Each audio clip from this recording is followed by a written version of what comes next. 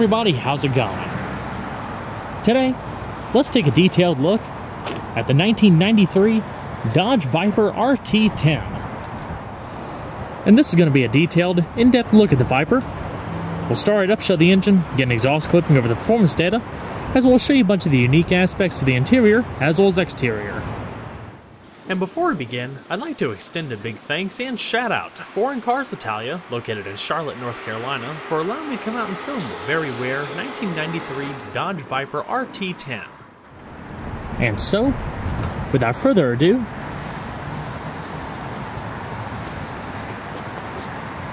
let's get start her up, let her run. The first generation Vipers were extremely basic vehicles, they didn't have any door handles on the exterior, or side glass, or even a fixed roof. This canvas top with plastic openings was the easiest way to get inside. Basically, zippers shut, you reach your hand in, and grab the interior door handle. The exterior color is known as Viper Red, featuring a gray vinyl interior.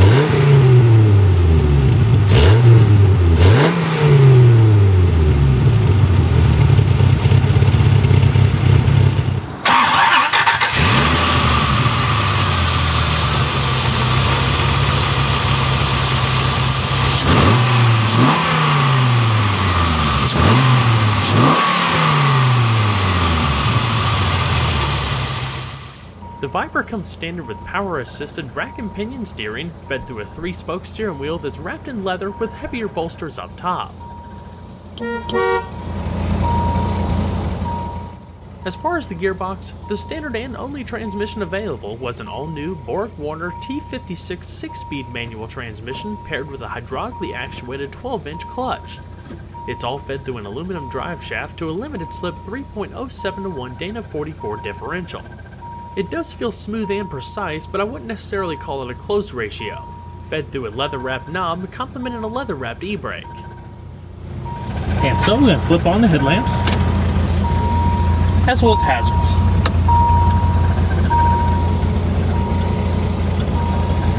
Then we're going to check out the exterior, shall we?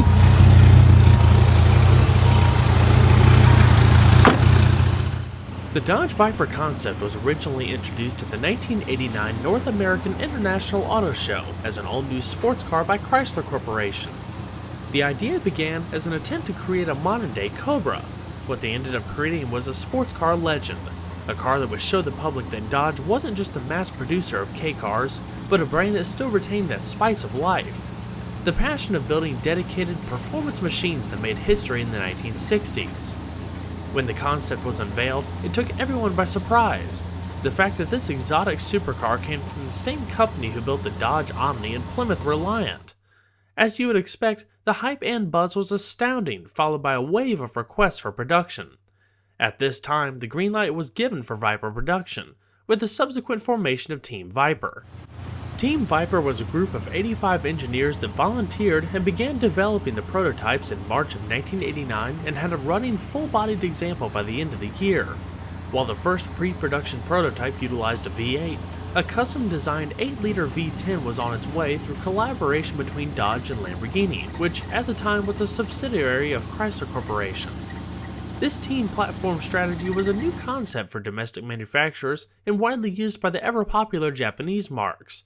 By creating a network of suppliers, Ideal for low volume production, it would speed up the production process and save the costs of building all new facilities for a car not expected to carry high profit margins. The team process would lead to a very rapid turnaround from concept to production. What Viper represented was the brand's new Halo car, bringing excitement and design cues, not to mention technology and build strategy to the rest of the lineup over the years.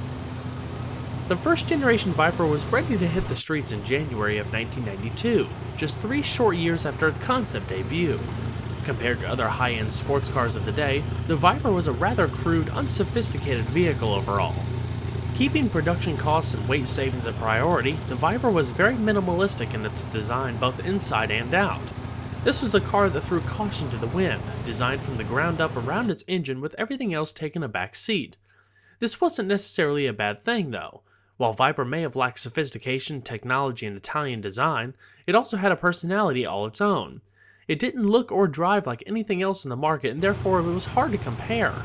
While it had always been compared and pitted against the Corvette, it's just a different car, not built to be like a Corvette, but built to be a Viper. The production RT10 was strikingly similar to the swoops and curves of the original concept, but while it looked very aerodynamic, in reality it was kind of the opposite, with a reported coefficient of drag of 0.49 with the soft top removed. The Viper's custom designed V10 would share almost nothing with its truck counterpart. The engine was based on Chrysler's LA design commonly used in trucks and essentially based on the current 360 V8 with a couple cylinders tacked on. Common sense would say that to use a truck engine in a light sports car would be detrimental in performance and weight, Therefore, it required heavy modifications to turn it into a real performer.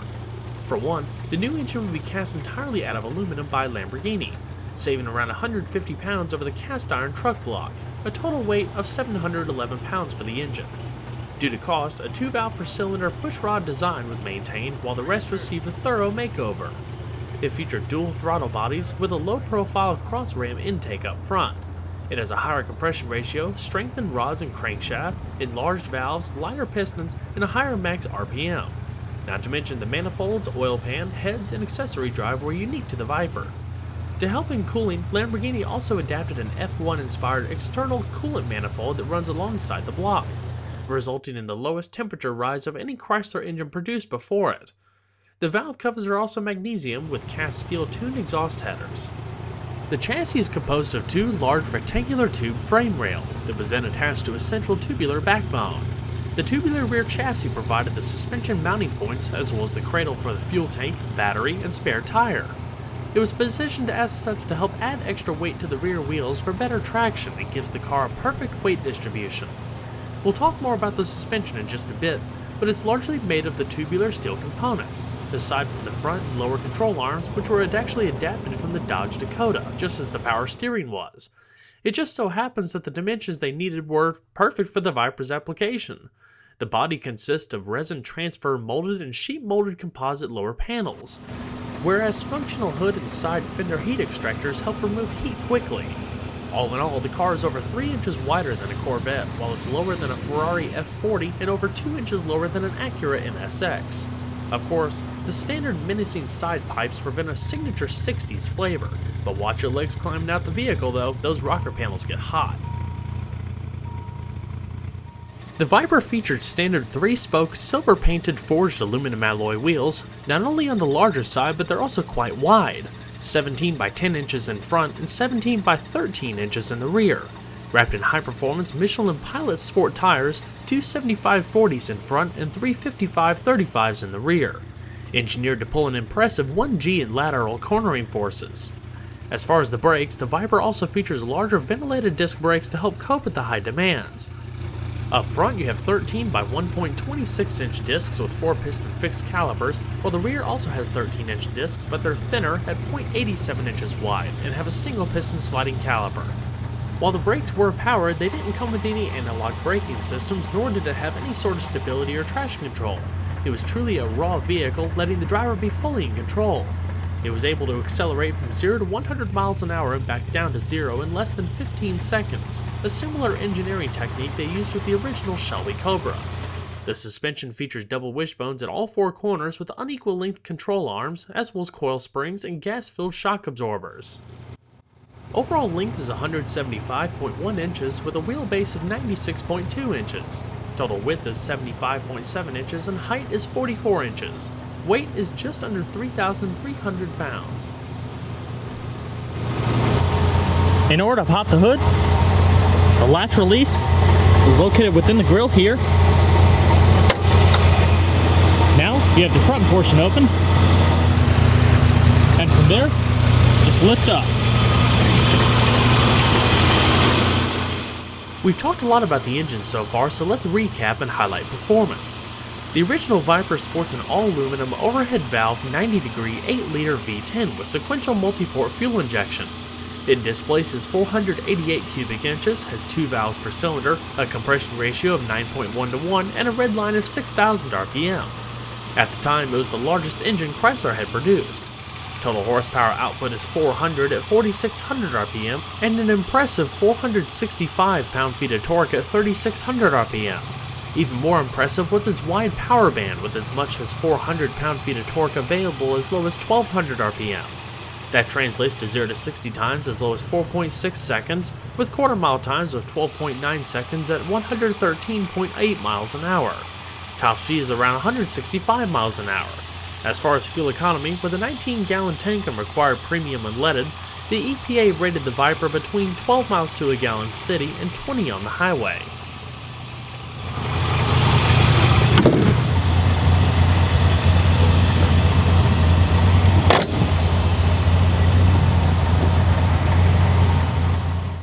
Like I showed you earlier, the first gen Vipers lack exterior door handles or roll-up windows. Primarily designed as an open-top roadster, the canvas top and plastic windows are your protection from the elements if needed. Otherwise, it all removes and stores neatly into the trunk. The minimalistic layout is seen throughout the interior, designed only for people who want a great driving car and nothing more. Creature comforts, soft touch padding, and even air conditioning in early models was not available. The seatbelts mounted on the door are really your only safety net as there's obviously no airbags. The seating though is surprisingly comfortable with deep bolsters and reasonable padding. While it doesn't adjust for height, it does manually adjust fore and aft in addition to recline. There's even inflatable lumbar for both seats, with a pump located in front of the seat and actually looks like it was taken from a blood pressure cuff. Climbing in doesn't take as much effort as you would think, but you also want to watch out for the hot rocker panels. The pedals are offset to the left with no room for a dead pedal. This is due to the packaging of the front midship engine layout as well as the headers. Another unique tidbit is the silvery material across the dash and the doors. It's not just painted trim but rather structural urethane foam trim, the first time used on a domestic car. So let's go and see if she sounds.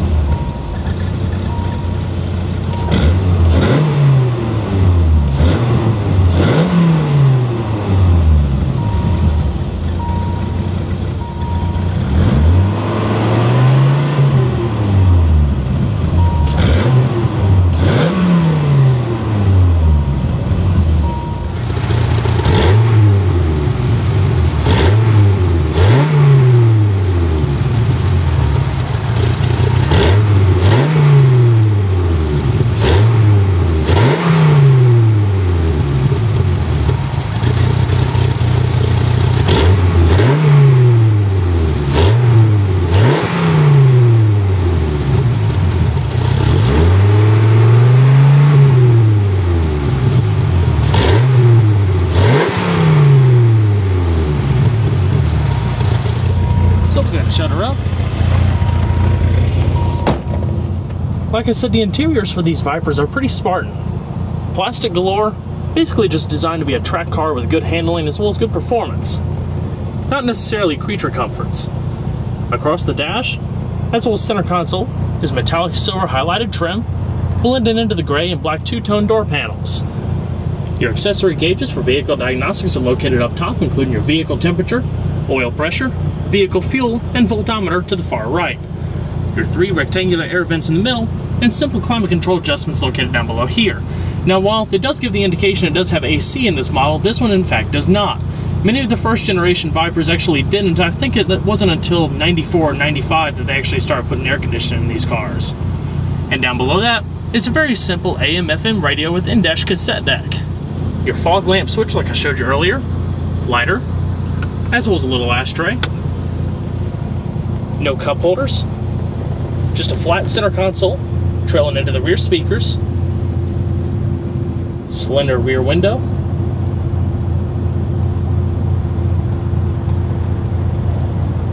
It's just such a cool looking vehicle. The visors are indeed padded. And the rear view mirror is manually dimming, but it does have reading lamps down below. Not to mention a very simple speedometer cluster, with your speedometer off to the far left, tachometer inset to the far right, and all of your warning lamps located in the middle.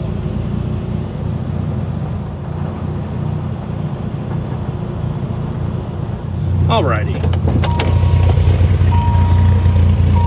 So we're to shut her down. And then push down on the release switch to take the key out. So, let's go and check out the rest of the vehicle, shall we? Opening up the trunk is also a two-step process. It can only be unlocked by using the key. Once open, you lift it up and notice there are no gas-charged struts to help hold it up. Instead, there's a metal prop similar to what you would find holding up a car's hood. Once in place, you're free to load up around 6.8 cubic feet worth of cargo. Taking into consideration the spare tire and top storage, that's likely to decrease to just a few bags worth.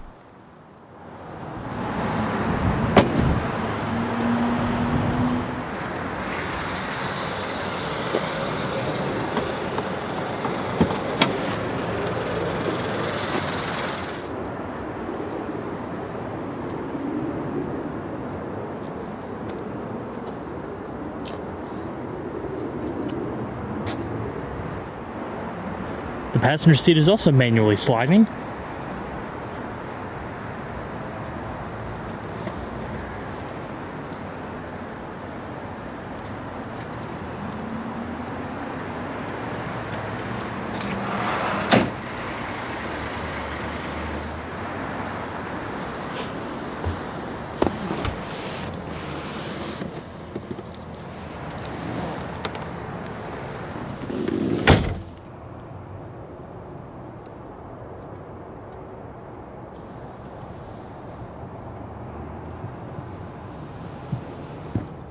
And you also have a glove box.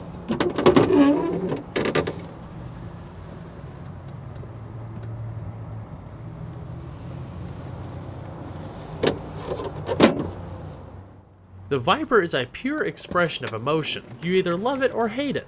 It's a brutal, purist driving machine without any electronic safety features or airbags. With a massive V10, rear-wheel drive, and a manual transmission, it's without a doubt one of a kind.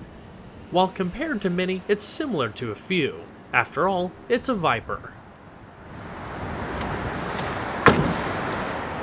Well, everyone, I hope you enjoyed the in-depth look at the 1993 Dodge Viper RT10. Be sure to stay tuned next time. There's a lot more where that came from.